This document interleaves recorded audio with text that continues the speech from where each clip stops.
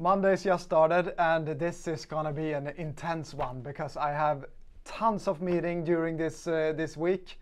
Uh, so yeah, I, I just need to run around between these uh, meetings and uh, yeah, get things uh, sorted out and going in uh, in the right direction. We we are clearly having a, a lot of things to do, and yeah, it's gonna be a busy but great week.